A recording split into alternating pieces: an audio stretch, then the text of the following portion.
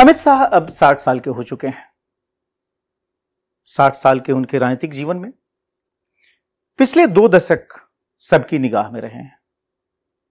खासतौर पर तब, जबकि गुजरात से निकलकर वो दिल्ली आए। और दिल्ली आने के बाद से उन्होंने अपने राजनीतिक कौशल का लोहा सबसे मनवा लिया। 2014 में जो मोदी सरकार आई, उसको लाने में भी अमित शाह की बड़ी भूमिका रही थी।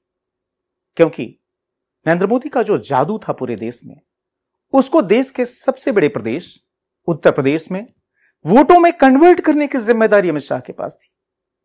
यूपी 80 लोकसभा सीटों वाला प्रदेश।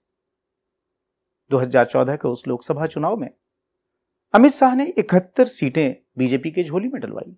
दो सीटें गठबंधन के बाकी सदस्यों के हिस्से में। यह एक बड़ा रिकॉर्ड था। इसके साथ ही अमित शाह के राजनीतिक कौशल की धूम मच गई। लोग उन्हें चाणक्य कहने लगे। लेकिन आधुनिक राजनीति का यह चाणक्य उसके पहले गुजरात में अपना जौहर दिखा चुका था। उन्नीस में उन्होंने पहला चुनाव जीता था, विधानसभा का उपचुनाव था। उसके बाद से एक के बाद एक लगातार विधानसभा चुनाव अमित शाह जीतते गए। 2012 आखिरी विधानसभा चुनाव था। उसके बाद फिर वह राज्यसभा में गए। 2019 में उन्होंने लोकसभा का चुनाव लड़ा। और 2019 से ही वो देश के गृह मंत्री भी हैं और सहकार मंत्री भी। अमित शाह के राजनीतिक कौशल की बात होती है, सबके ध्यान में है। लेकिन अमित शाह का बचपन कैसा था? अमित शाह के बचपन की कहानी हम सुनाने जा रहे हैं, जो कि ज़्यादातर लोगों के ध्यान में नहीं अमित शाह, उनका जन्म हुआ था 22 अक्टूबर 1964 को, मुंबई में। लेकिन मुंबई उनका पैतृक शहर नहीं है। उनका पैतृक शहर है मारसा गुजरात की राजधानी गांधीनगर का हिस्सा। लेकिन अमित शाह का यह पैतृक शहर एक समय महसाणा ज़िले का हिस्सा था। उसी महसाणा ज़िले का, जिसका हिस्सा वड़नगर हुआ करता था। वड़नगर यानी देश के प्रधानमंत्री नरेंद्र मोदी का अपना पैतृक शहर। एक ही ज़िले के दो शहर वड़नगर और मारसा वड़नगर में नरेंद्र मोदी जन्मे। मानसा में अमित शाह का जन्म नहीं हुआ, लेकिन उनका पूरा बचपन बीता। कैसा था अमित शाह का बचपन?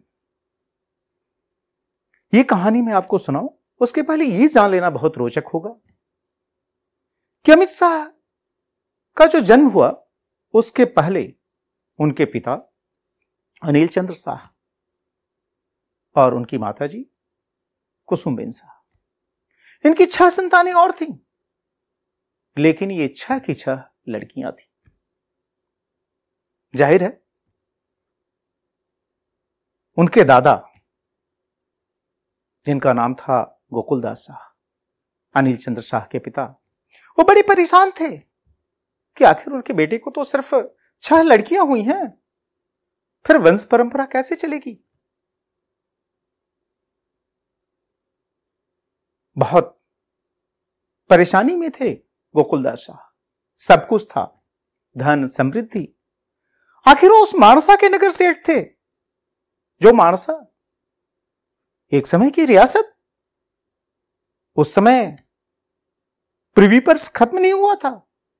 तो इसलिए वहाँ के जो शासक थे, उनको सभी सुविधाएँ, सभी सम्मान हासिल थे।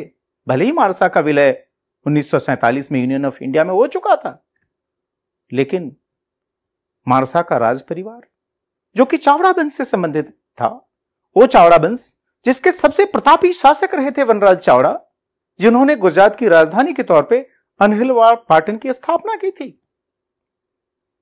उस चावड़ा वंश की जो कई रियासतें थी गुजरात में, उसमें से एक रियासत थी मारसा काफ़ी समृद्ध।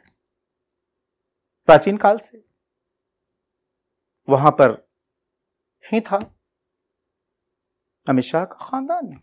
उनके दादा, परदादा सब मारसा की ही मिट्टी में पले बढ़े थे और बड़ा मुकाम हासिल किया था। न सिर्फ़ गोकुलदास नगर सेठ थे, बल्कि उनका बड़ा फलता फूलता कारोबार था। जिस समय शेयर बाज़ार को कोई जानता नहीं था, उस समय शेयर बाज़ार में उनका लंबा चौड़ा दखल था, सब कुछ था। लेकिन चिंता इस बात की थी कि वंश परंपरा कैसे आगे बढ़ेगी? वो एक पोते को चाहते थे, छह पोतियाँ हो चुकी थी। फिर परेशानी दूर कैसे हो? हैरान परेशान गोकुलदास शाह। उन्होंने अपने पिता को याद किया। पिता यानी गुलाब चंद साहब जो कि करीब डेढ़ दशक पहले सन्यासी हो चुके थे। सन्यासी निरंजनी अखाड़े के। उस जमाने में ज़ाहिर है, टेलीफोन नहीं था। कैसे पहुँचते अपने पिता के पास? गोकुलदास शाह, उन्हें याद आया। पंद्रह साल पहले वो मिले थे प्रयाग के कुंभ में अपने पिता से। जब अपने पिता को खोजते खोजते वो पहुँचे थे वहाँ। और निरंजनी अखाड़े में जब पिता से मुलाकात हुई थी तो उस समय आचार्य महामंडलेश्वर जो निरंजनी अखाड़े के थे, उन्होंने कहा था कि क्यों परेशान होते हो? पंद्रह साल बाद तुम्हारे पिता कामाख्या में मिल जाएँगे। वहाँ पर निरंजनी अखाड़ा का जो मठ है वहाँ पर। गोकुलदास साहब को यह बात ध्यान में थी। तो ऐसे में वो सीधे कामाख्या पहुँचे। और जो आचार्य महामंडलेश्वर थे, निरंजनी अखाड़ा के, उनकी बात सही थी।